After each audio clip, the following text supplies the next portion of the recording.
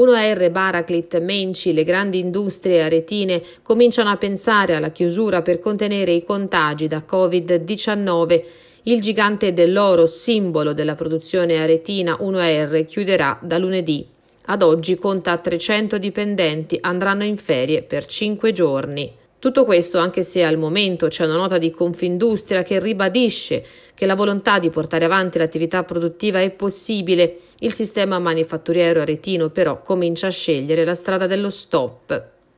Chimet, altro gioiello del gruppo controllato dalla famiglia Squarcialupi, spinta dalla domanda fortissima di lingotti, andrà avanti. Fermare l'attività, dice, significherebbe spezzare una delle grandi catene di rifornimento del distretto Orafo. Alla Menci, 250 dipendenti che realizzano rimorchi da tir, si riparte martedì con mascherine e altri strumenti protettivi dei dipendenti.